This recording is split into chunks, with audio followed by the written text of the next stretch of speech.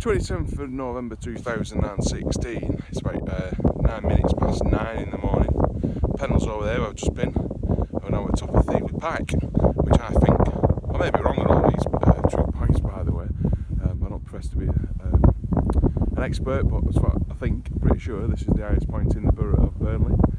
Um, so yeah, so this is another one. And now I'm going over there somewhere, if you know where I'm going. Because I actually don't, not been before, so I may get lost on this one. Uh, but yeah, that's two. So two uh, trig points on Lancashire Day. Uh, in Lancashire, where life feels good.